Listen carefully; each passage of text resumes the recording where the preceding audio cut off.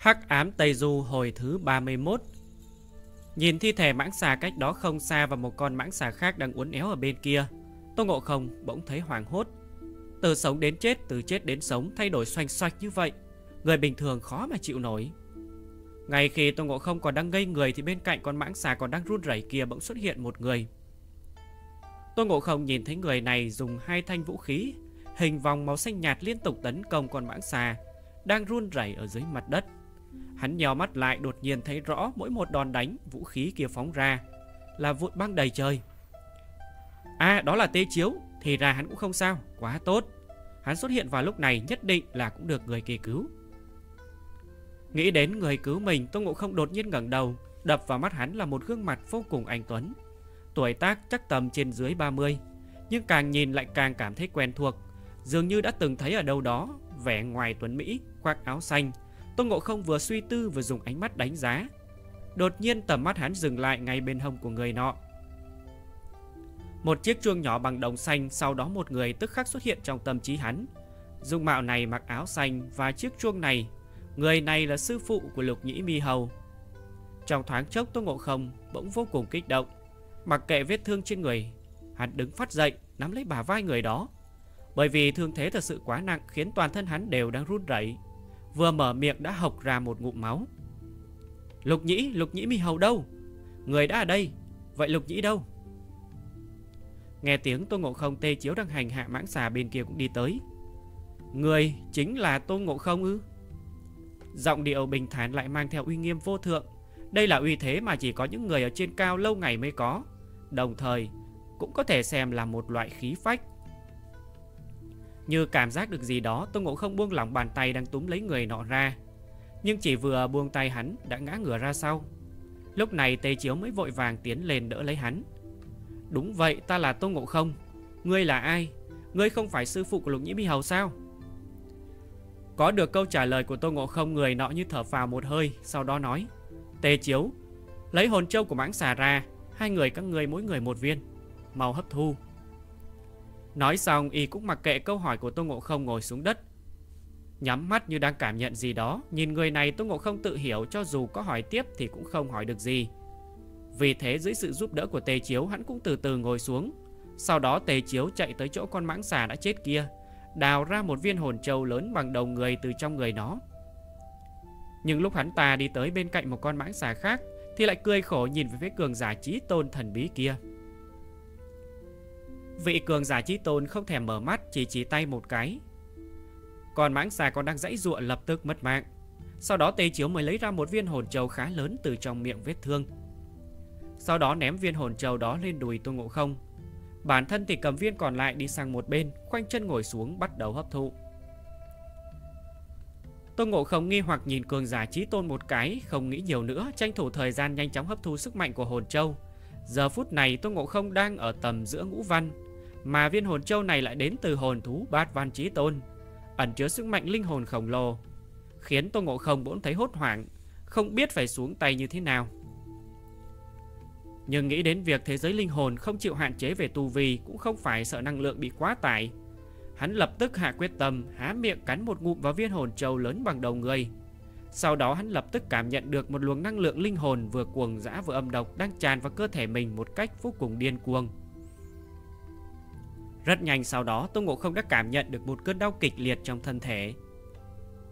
Đúng lúc này, bên tai bỗng truyền đến một tiếng chuông vô cùng uy nghiêm.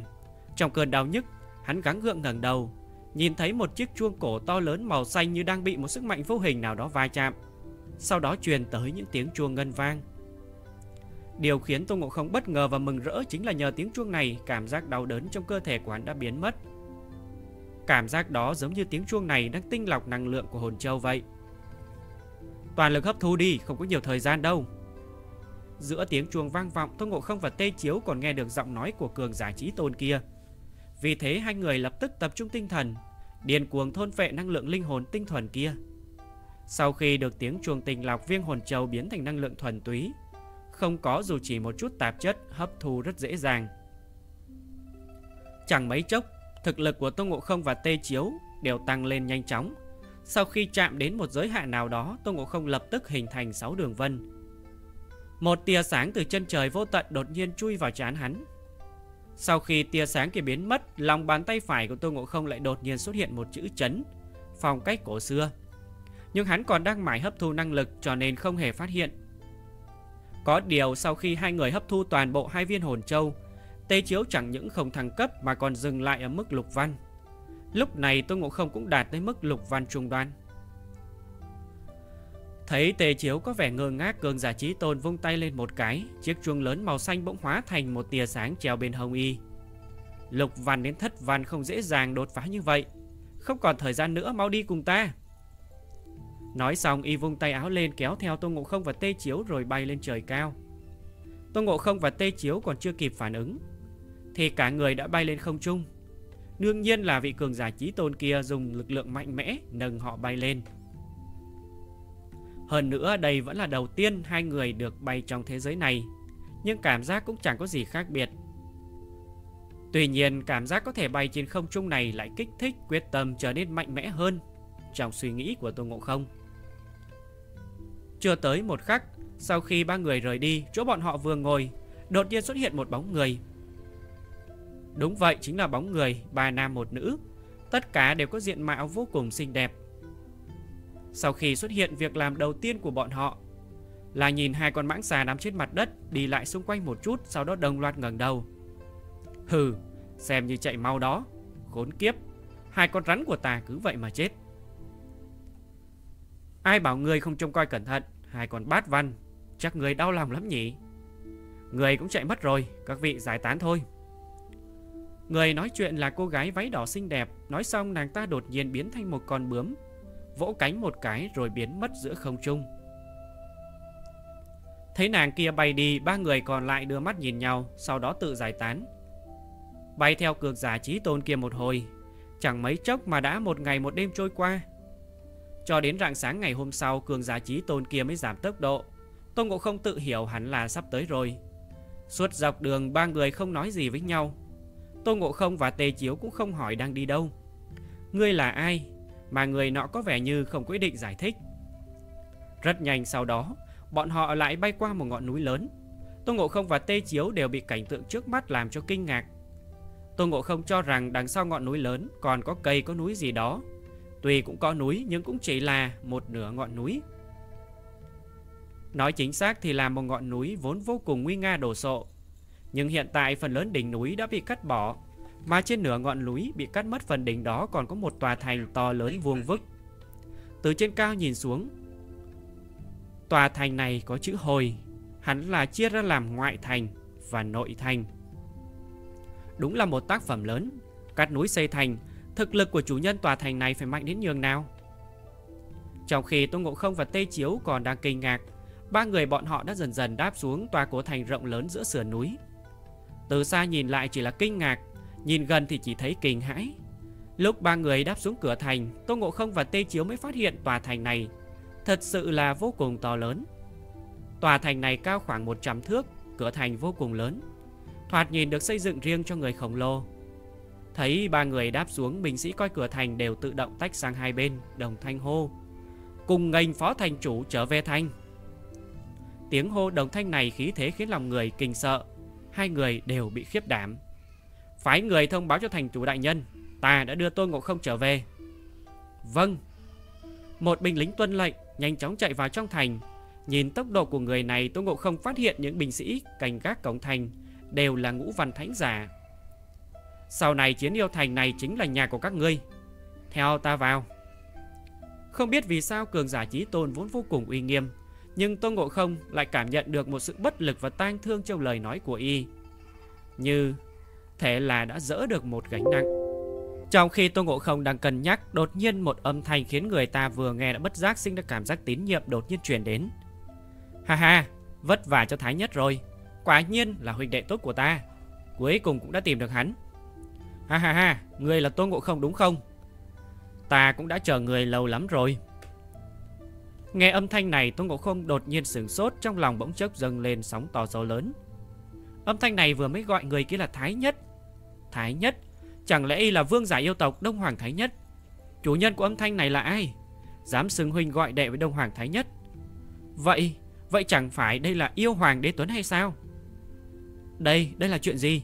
Vì sao bọn họ lại ở chỗ này? Trong lúc Tô Ngộ Không còn đang ngây người một người trung niên mặc long bào vàng kìm xuất hiện. Chỉ một ánh nhìn cũng đã khiến hắn suýt không nhịn được quỳ lạy trước dáng vẻ bá đạo và uy nghiêm biết bao của người đó. Tô Ngộ Không, những tưởng Đông Hoàng Thái Nhất đã rất uy nghiêm. Nhưng cho đến khi gặp được đế tuấn mới hiểu ra cái gì là trời sinh vương giả. Tô Ngộ Không không dám qua loa kể cả khi đế tuấn đang tươi cười. Tuy hắn không quỳ lại nhưng vẫn khom lưng hành lễ vãn bối. Hắn mãi lo khiếp sợ trước khí thế của đế tuấn, Không phát hiện tề chiếu bên cạnh chỉ hơi ngạc nhiên, chứ lại không hề hoảng loạn. Dù y đang đối mặt với cường giả trí tôn cửu văn, Như yêu hoàng đế tuấn, Nhưng cũng chỉ chắp tay chào thì lễ mà thôi. Đế Tuấn vừa cười to vừa sải bước đến gần, Đồng thời vung tay cho các thị vệ xung quanh lùi lại. Ông ta quan sát Tô Ngộ Không thật kỹ, Kế đó hài lòng gật đầu. Lục văn trung đoạn, Không tệ. Người đến thế giới hoàng tuyền chưa được một năm mà đã đạt đến trình độ này. Mặc dù có chút thủ đoạn, Nhưng cũng tốt lắm rồi. Đến đây, Đến đại điện nói tiếp. Chỗ này không phải chỗ để nói chuyện. Đế Tuấn nói xong bèn kéo Tô Ngộ Không đi, Nhưng mới bước được một bước liền quay đầu nói với Tề Chiếu. Ta không biết người có mục đích gì, Nhưng người đã là bằng hữu của Tô Ngộ Không, Thì cứ đi chung. Sau đó, Đế Tuấn lôi kéo Tô Ngộ Không đi mất, Bỏ mặc tây Chiếu và Đông Hoàng Thái Nhất đằng sau. Dường như Đế Tuấn rất là vui vẻ Trước sự xuất hiện của Tô Ngộ Không. Đông Hoàng Thái Nhất đã quá quen với tính cách của Đế Tuấn Nên cũng chẳng để tâm. Chỉ liếc nhìn Tê Chiếu một cái, Rồi cũng tự mình đi vào trong nội thành. Tê Chiếu sờ mũi cười khổ, Cuối cùng nối gót theo chân Đông Hoàng Thái Nhất vào nội thành. Y đến đại điện mới phát hiện Đế Tuấn và Tô Ngộ Không đang ngồi ở đó trước. Không biết đang nói cái gì. Y thấy thế bèn ngồi ngay ở cửa. Được rồi, Hiện giờ người đã đến. Một số việc cũng nói được rồi. Dù vậy, bọn ta khá là mâu thuẫn Vì vừa hy vọng người có thể đến đây. Vừa hy vọng người vĩnh viễn đừng xuất hiện ở đây. Tiền bối, Ngộ Không cũng có rất nhiều thắc mắc. Không biết tiền bối có thể giải đáp cho ta được không? Đương nhiên, Hôm nay ta cũng định sẽ nói hết tất cả cho ngươi. Ta không biết ngươi đã biết bao nhiêu, Nên ngươi cứ hỏi trước đi. Đông Hoàng Thái Nhất ngồi vào vị trí dưới của đế tuấn và nhắm mắt dưỡng thần, Còn Tây Chiếu ngồi trước cửa lại vành tai lắng nghe. Khi thấy Tây Chiếu ngồi xa tít tắp, Tô Ngộ Không đang ngồi đằng sau Đông Hoàng Thái Nhất, Bỗng cảm thấy hơi có lỗi. Đế Tuấn nhận ra điều đó nên cũng vẫy tay gọi. Ngươi ngồi ở đây. Tuy người không thuộc yêu tộc ta, Nhưng trung quy cũng là nhân tộc. Chắc hẳn người và Tô Ngộ Không cũng là bằng hữu trí cốt. Nếu đã muốn nghe thì cùng nhau nghe. Hy vọng sau này người sẽ trở thành bằng hữu của yêu tộc chúng ta. Tề Chiếu nghe vậy bèn lộ vẻ cảm ơn Sau đó ngồi phía dưới tôn Ngộ Không. Tôn Ngộ Không thấy Tề Chiếu ngồi xong Mới chỉnh lại suy nghĩ đặt câu hỏi. Tiền bối Tại sao ngài và Đông Hoàng tiền bối lại ở đây?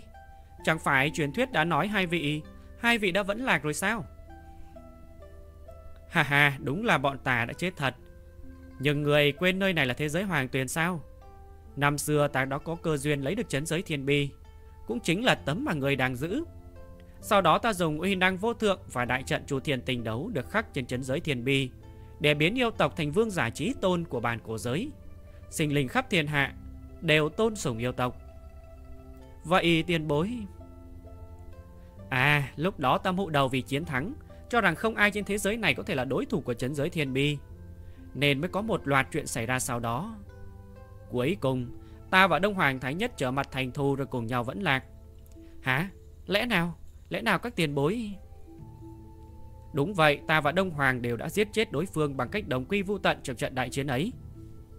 Thật ra chuyện này có liên quan đến một âm mưu rất lớn, Mãi cho đến khi chết thì ta mới hiểu ra.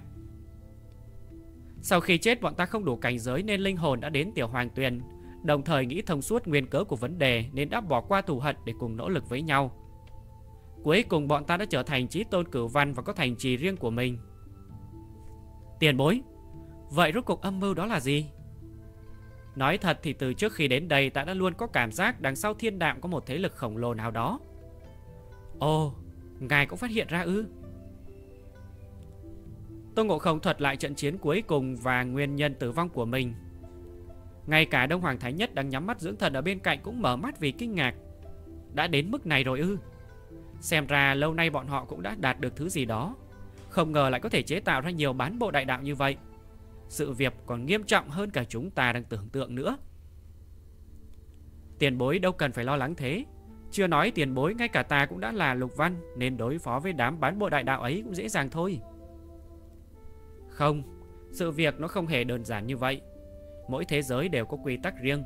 Cho dù ngươi thành công rời đi Nhưng cũng không thể quay lại bàn cổ giới nữa. Trừ khi ngươi chịu từ bỏ thực lực hiện tại.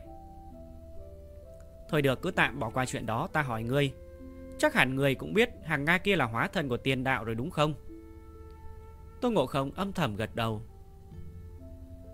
Đó không phải là hóa thân đơn thuần. Nói chính xác ra thì nàng ta thân là xác ký sinh của thiên đạo.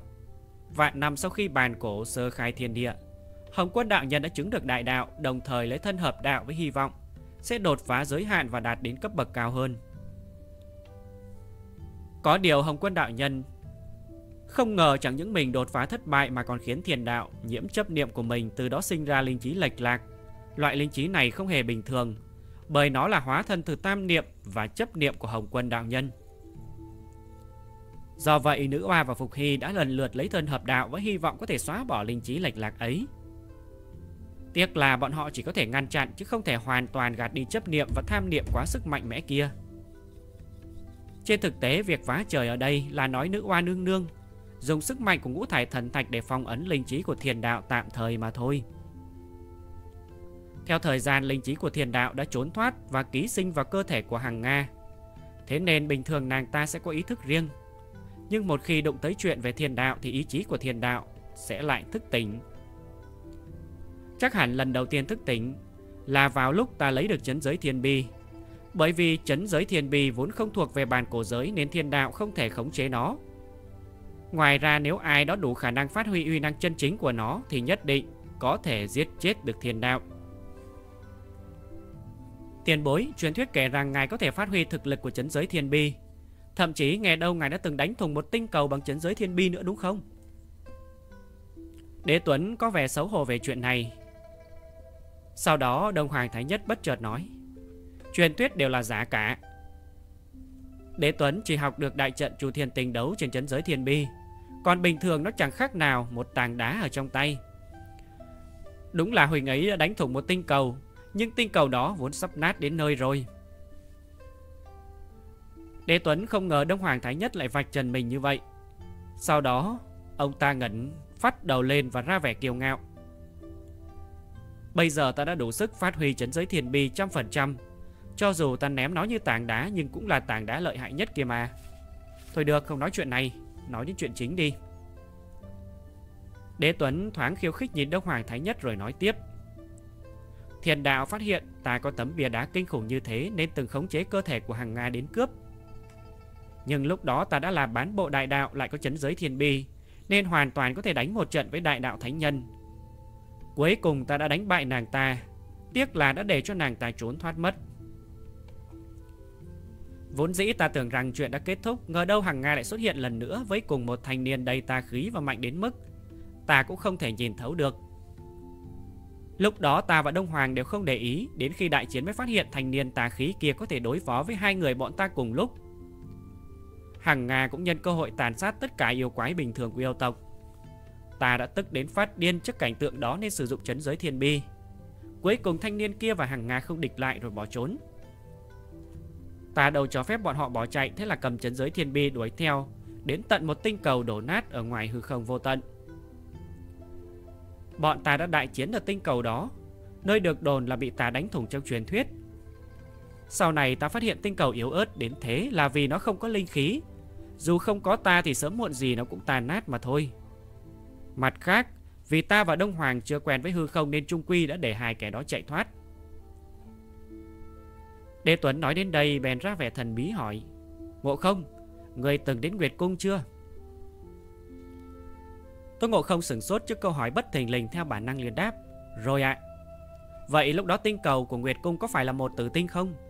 Tử tinh nghĩa là tinh cầu không có linh khí thực vật hay nước Vừa nhỏ vừa không có dấu hiệu sinh mệnh Nghĩ lại thì như trên Nguyệt Cầu Không có gì ngoài Quảng Hàn Cung cả Vậy là đúng rồi Ta cho người biết Nguyệt Cầu ở thời đại chúng ta là một thế giới có sinh mệnh tương tự như bàn cổ giới Nó biến thành tử tình cũng vì thanh niên tà khí mà ta vừa kể Thanh niên này thuộc một chủng tộc đặc biệt Giữ năng lực thôn tính năng lượng của tinh cầu đã hoàn thiện Thế nên hàng Nga đã lợi dụng năng lượng tinh cầu hòng tăng cường thực lực của đám khối lỗi bán bộ đại đạo mà mình chế tạo. Như người đã nói đằng sau thiên đạo còn có một thế lực vô cùng khổng lồ. Vì một số nguyên nhân nên bọn họ chỉ có thể âm thầm giúp thiên đạo, qua đó đạt được mục đích của mình. Có lẽ vì thời gian đã quá lâu hoặc là vì đế tuấn không muốn nói ra vài chuyện. Tóm lại Tôn Ngộ Không càng nghe càng cảm thấy hỗn loạn. Cuối cùng nhờ Đông Hoàng Thái Nhất mà hắn đã miễn cưỡng hiểu được việc Đế Tuấn muốn truyền đạt. Nhưng hai người vẫn không nói rõ một vài chi tiết ẩn giấu trong đó. Tôn Ngộ Không đã hiểu vấn đề cơ bản đơn giản là vì chấp niệm đột phá cảnh giới đại đạo của Hồng Quân đạo nhân quá mạnh, kết quả làm thiên đạo tiến hóa ra linh trí lệch lạc. Chắc hẳn thiên đạo đã chịu ảnh hưởng của thanh niên tà khí kia, nên mới biến thành tồn tại tập hợp tham niệm và tà niệm Chẳng qua thiên đạo thường rất bình tĩnh vì đã bị nữ oa và Phục Hy áp chế. Thiên đạo biết đế tuấn có chấn giới thiên bi bèn này lòng tham, sau đó bố trí một cái bẫy với thanh niên kia để dẫn đế tuấn và Đông Hoàng Thái Nhất đến hư không đánh một trận. Hai người đã đánh bại bọn người thường Nga. Khổ nỗi đế tuấn lại bị nhiễm tham niệm của thiên đạo và tà khí của thanh niên kia. Có thể nói mục đích của hàng Nga không phải là đánh bại đế tuấn và Đông Hoàng Thái Nhất mà là lây nhiễm đế tuấn bằng năng lực của thành niên tà khí. Kết quả chứng minh chiêu của Hằng Nga rất thành công. Về sau đế tuấn không thể kiểm soát tà niệm và tham niệm của mình, thậm chí định giết sạch tất cả sinh linh ngoài yêu tộc trong bản cổ giới.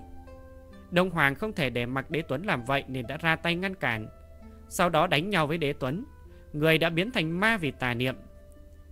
Ai mà ngờ trận chiến này lại trở thành trận chiến cuối cùng của cả hai. Hai người không thuật lại chi tiết quá trình đại chiến, Chỉ nói rằng chí tôn thần khí Đông Hoàng Trung của Đông Hoàng Đã bị chấn giới thiên ti đập tan nát. Cuối cùng Đông Hoàng quyết tâm đưa đế tuấn đến hư không, Rồi tự bạo cho cả hai chết hết. Chấn giới thiên bì không đi theo linh hồn đã chết của đế tuấn Mà tự dừng biến mất. May mà khi tham gia vào đại trận chu thiên tinh đấu của chấn giới thiên bi Hai người đã dự đoán được chuyện này thông qua tinh tượng Nên mới cố ý thay đổi số mệnh luân hồi dù cho có phải hao tổn tu vi. Đây cũng là lý do chấn giới thiền bi đã rơi vào tay của Tô Ngộ Không. Hai người đều không nói tỉ mỉ về quá trình này, chẳng qua Tô Ngộ Không cũng chẳng muốn so đo. Hắn có cảm giác như bản thân mình đang bị tính kế. Nhưng nếu đối phương là lão tổ tông yêu tộc mình thì cũng đành chịu mà thôi. Thật ra tôi Ngộ Không ngạc nhiên về việc hai người có thể thôi diễn tương lai mấy vạn vạn năm sau bằng tinh tượng hơn, đúng là có thể sánh ngang với nữ oa. Không, đây là kế hoạch của cả ba người chúng ta. Đầu tiên nữ oa dùng ngũ thải thần thạch phá trời để chấn áp thiên đạo, nhân cơ hội để lại một viên ngũ thải thần thạch cuối cùng. Trong đó thổ thần thạch đã hóa thành tôn ngộ không. Sau đó đế tuấn và Đông Hoàng lại thiết kế cho chấn giới thiên bì đến tay hắn. Không không đúng, chuyện này còn thiếu một đoạn. Đúng rồi là đại vũ. Rất có thể Đại Vũ đã vô tình lấy được chấn giới thiên bì, kế đó hiểu được năng lực của nó cũng như kế hoạch của Đế Tuấn và Đông Hoàng. Do vậy ông ta đã dùng nó để phá đại trận cửu khúc Hoàng Hà, rồi chia thiên hạ thành cửu châu. Sau khi thành công, hắn ta phong ấn chấn giới thiên bì vào kim cô bổng, hơn nữa còn cố ý để lại tình huyết bản mệnh cho Tô Ngộ Không, khi ấy vẫn còn là một tảng đá.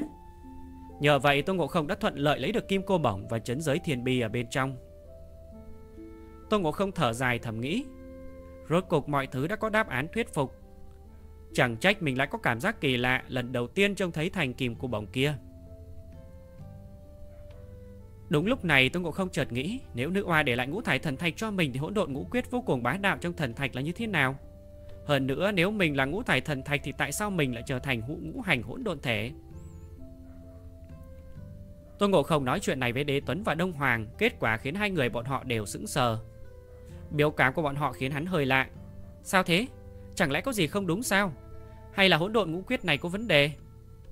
Hai người sửng sốt một lát mới hoàn hồn Nhìn nhau, Cuối cùng đế tuấn vừa thở dài và trả lời câu hỏi của Tôn Ngộ Không Đâu chỉ có vấn đề Phải nói là một vấn đề lớn luôn.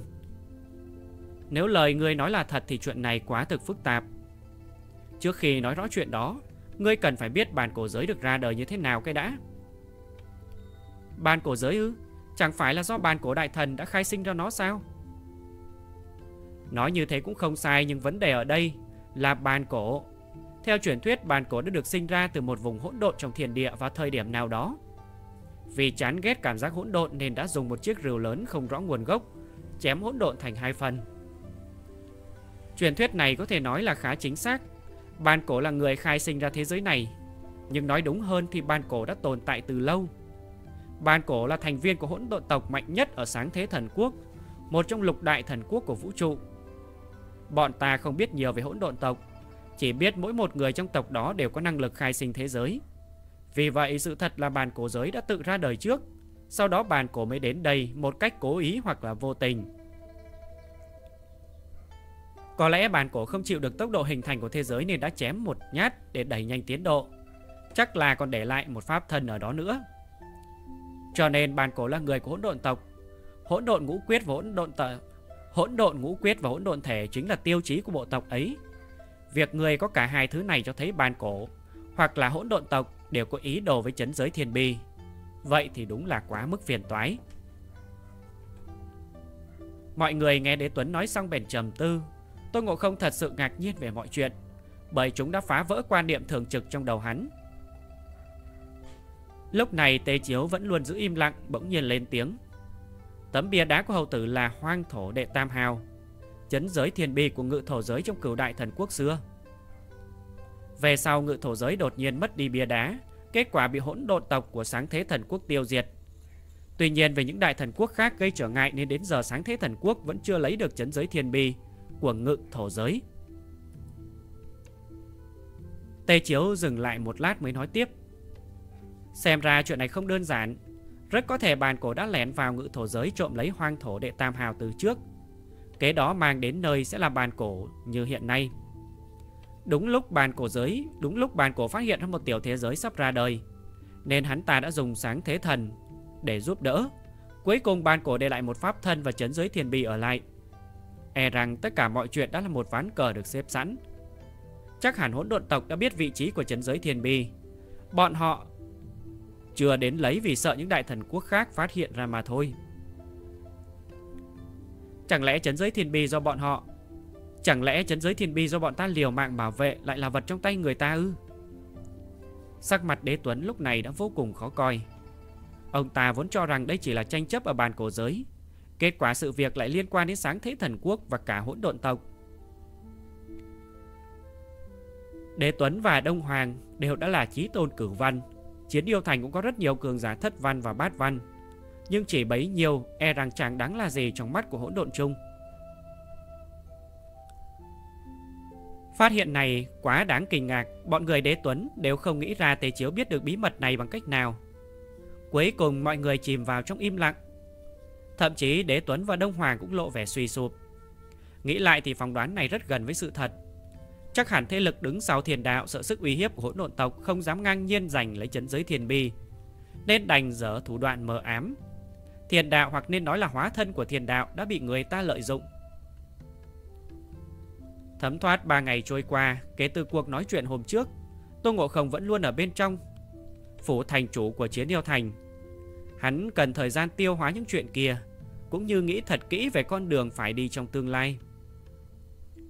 Sau 3 ngày tự hỏi Tôn Ngộ Không đã hiểu đại khái quan trọng nhất là phải rời khỏi thế giới này trước Sau đó tìm cách quay về bàn của giới sau Hắn phải cứu sống sư phụ Tìm ra bát giới và tiểu bạch long Nếu được thì tiêu diệt luôn thiên đạo Còn không diệt được thì để một phần thân ở lại.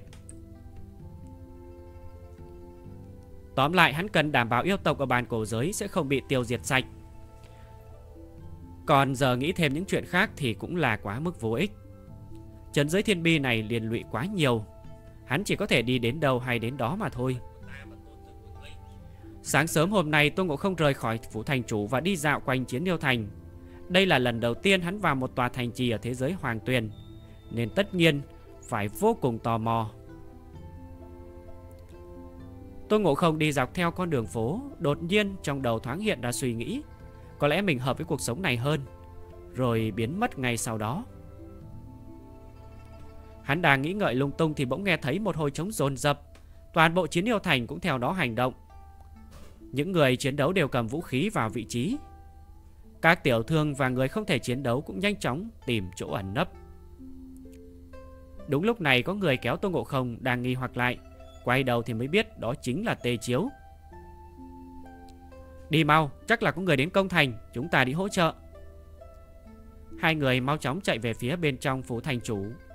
Tê Chiếu cũng thuật lại chuyện xảy ra với Tô Ngộ Không ở trên đường đi. Hóa ra quan hệ giữa các đại thành trì cũng không hề hòa thuận cho lắm. Hay có thể nói chính xác là như dầu sôi lửa bỏng. Khoảng cách xa xôi giữa các thành trì vẫn không thể ngăn cản dã thâm của các đại thành chủ. Vì thế chuyện công thành thường xảy ra rất thường xuyên. Thêm vào đó, có vẻ nhóm cao cấp nhất ở thế giới hoàng tuyền không có ý định ngăn cản loại hình thái chiến đấu này. Thật ra chiến yêu thành vẫn được gọi là trảm yêu thành Do đạo tộc cai quản. Đây là bộ tộc vô cùng giống với đạo gia nhưng lại không phải nhân tộc. Nghe nói là được diễn sinh từ đạo gia. Người trong tộc này đều là đại sư đạo thuật bẩm sinh Có vẻ ngoài hệt như nhân tộc Chỉ khác ở chỗ bọn họ sẽ có đường vân ngay từ đầu Nên thực lực của bọn họ sẽ tăng trưởng rất nhanh Đế Tuấn và Đông Hoàng đã cùng hợp sức chỉ huy vô số yêu tộc đánh bại đạo tộc giành lấy Trảm Yêu Thành rồi đổi tên thành Chiến Yêu Thành. Những thành trì khác từng dẫn binh đến tấn công, thế nhưng tất cả bọn họ đều bị Đế Tuấn và Đông Hoàng Thái Nhất đánh lùi về. Nhờ vậy mà danh tiếng của Chiến Yêu Thành đã được vang xa. Song Chí Tôn cũng trở thành tiêu chí của yêu tộc. Ai mà ngờ hôm nay, vẫn còn người dám kéo đến tranh chấp với Chiến Yêu Thành. Đương nhiên, Tôn Ngộ không biết những chuyện này qua lời kể của Đế Tuấn. Sau đó, Giờ thì hắn và Tề Chiếu đang đứng trong tiểu đội yêu tôn của chiến yêu thành. Tiểu đội yêu tôn chính là thanh kiếm sắc bén nhất trong tay đế tuấn và đông hoàng thái nhất. Có tất cả 72 người. Trong đó bao gồm 54 vị trí tôn thất văn và 18 vị trí tôn bát văn. Có thể nói đây là chiến lực mạnh nhất của chiến yêu thành. 74 người kể cả Tô Ngộ Không và Tề Chiếu đang quỳ một gối trước cửa thành của phủ thành chủ để chờ lời động viên trước cuộc chiến của đế tuấn, Lúc này lão đột nhiên nói, Bắt đầu từ hiện tại, Lệnh cho Tô Ngộ Không và tê Chiếu làm đội trưởng và đội phó của tiểu đội yêu tôn Mọi người nghe lệnh không được làm sai Nhiệm vụ của các ngươi là chém giết. Đế Tuấn nói xong bèn bay lên, Không quan tâm đến ánh mắt ngạc nhiên của hai người. Nhưng vì thấy Tô Ngộ Không quá mức ngạc nhiên, Nên Đế Tuấn vẫn nói thêm một câu. Tề Thiên Đại Thánh Tô Ngộ Không, Yêu tộc ta không có nam nhi sợ chiến. Người hãy thể hiện dũng khí của mình, Mặc cho những kẻ xâm phạm thấy yêu tộc ta Sẽ không mặc cho người ta ức hiếp. Ngay sau đó 72 vị trí tôn đồng thanh hô. Kẻ xâm phạm uy nghiêm của yêu tộc ta giết sạch Tiếng hồ đồng đều làm trái tim vốn do dự của Tôn Ngộ Không trở nên sôi sùng sục Những lần thất bại liên tiếp đã đánh tan sự kiêu ngạo và khí phách vốn có của hắn Từng âm mưu, từng kẻ địch mạnh mẽ nối nhau xuất hiện khiến hắn trở nên thận trọng, lo lắng, lo trước lo sau hay thậm chí là phải sống nhịn nhục qua ngày. Thế nhưng đó không phải là Tôn Ngộ Không. Tôn Ngộ Không thật sự là một vị anh hùng dám cười ngạo trời xanh, là một kẻ ngông cuồng dám chiến đấu với tất cả. Tôn Ngộ Không bỗng nhiên tìm lại được bản ngã qua tiếng hô to này. Do đó hắn chậm rãi đứng dậy, bước đến trước mặt mọi người rồi quát lớn. Nam nhi yêu tộc chiến chiến chiến Lời nói tràn ngập chiến ý Khí thế ngút trời Xoẹt một tiếng tôn Ngộ Không rút kim cô bổng ra Chân phải dẫm mạnh khiến hào quang lóa mắt bao phủ toàn thân Sau khi hào quang biến mất dáng vẻ của hắn cũng đã thay đổi Hắn mặc lòng lần thường vần giáp Khoác áo choàng phá nguyệt đỏ tươi Đầu đội lưu ly phượng sứ tỷ kim quan Hai tay đeo kim cương tử vân oản Chân mang kỳ vân đạp tử quỷ ngoa thoạt nhìn qua vô cùng khí phách. Tôn Ngộ Không nhìn 72 cường giả trí tôn và tê chiếu trước mặt lặng lẽ vung tay lên. Ngay sau đó mọi người tản ra, tê chiếu cũng chuyển sang trạng thái ẩn thân. Lúc này Đế Tuấn và Đông Hoàng Thái Nhất cũng mặc chiến bào. Chẳng qua Đế Tuấn mặc một bộ thành lòng giáp của Đông Hoàng Thái Nhất mặc thái cực bát quái giáp. Hai người bay đến độ cao có thể thấy được đám khói cuồn cuộn cách đó không xa. Theo khoảng cách và tốc độ hiện tại của đối phương E rằng bọn họ sẽ đến chân núi sau một khắc nữa.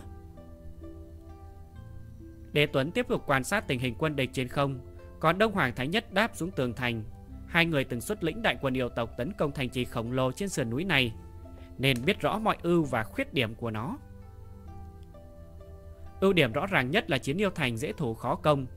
Nếu quân địch không phải chí tôn cửu văn Thì chỉ có thể ngoan ngoãn leo từ chân núi lên mà thôi. Việc này mang lại ưu thế rất lớn cho phe thủ thành. Thế nhưng khuyết điểm cũng rất rõ ràng, Đó là kẻ địch có thể tiến công đồng loạt từ mọi hướng. Tuy ngọn núi này rất dốc, Hơn nữa Đông Hoàng Thái Nhất và Đế Tuấn đã dùng đại pháp lực san bằng tất cả mọi góc cạnh.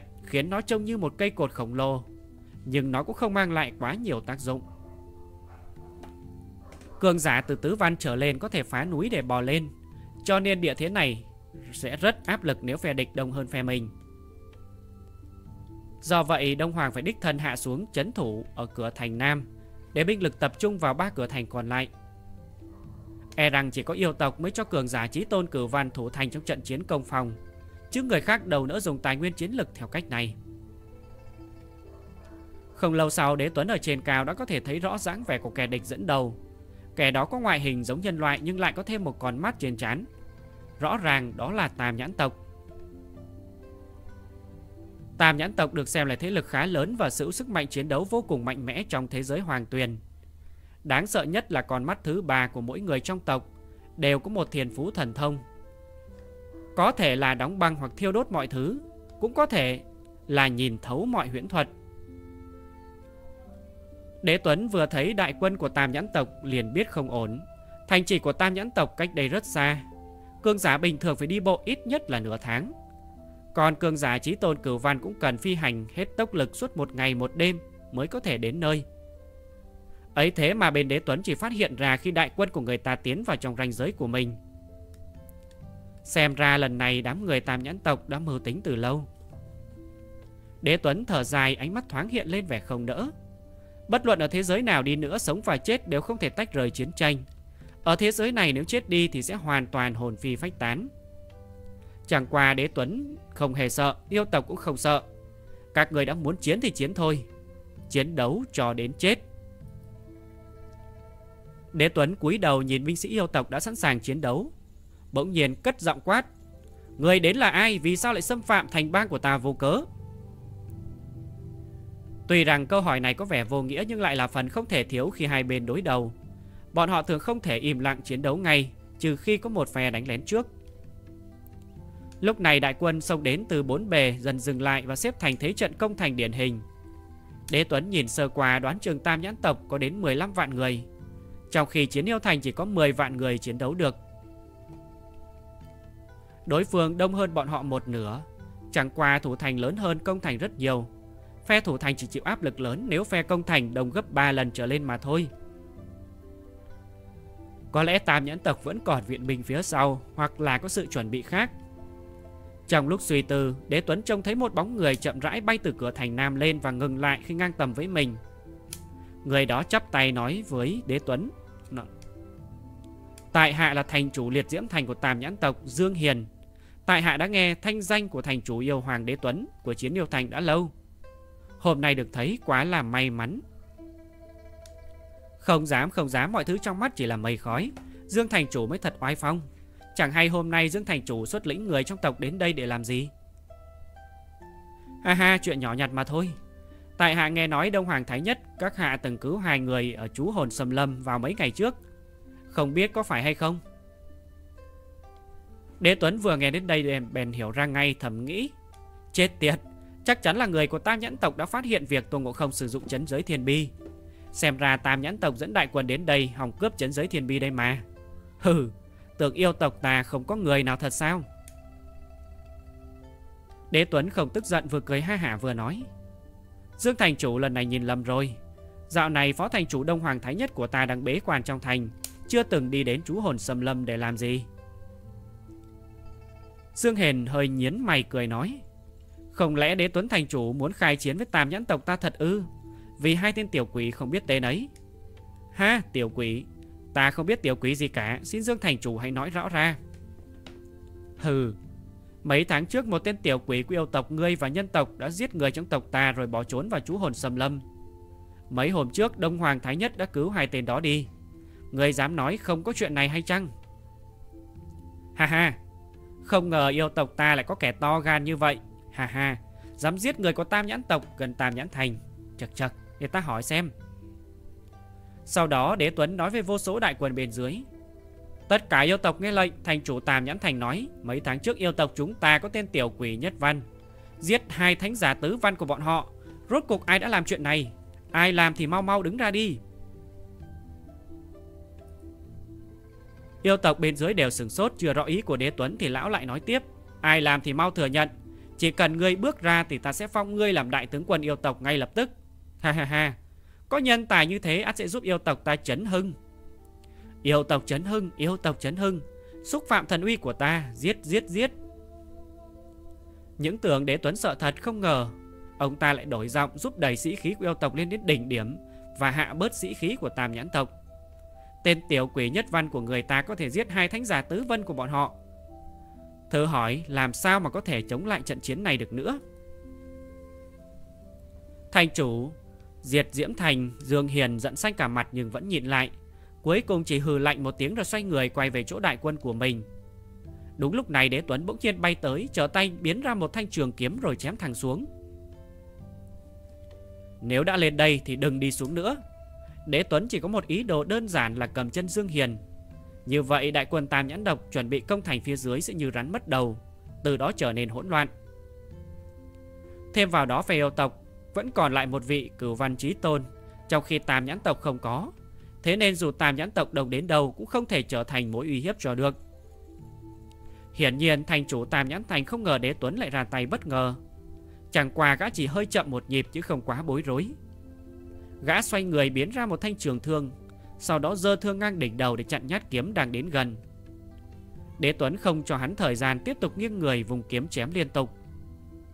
Hai người đều là trí tôn cửu văn khá cần sức. Nếu một người cố ý muốn đấu trong khi người còn lại không được ai hỗ trợ thì rất khó thoát thân. Do đó mặc dù Dương Hiền biết việc này bất lợi với tàm nhãn tộc, nhưng không quá lo lắng. Còn dành thời gian ra lệnh với đại quân của mình.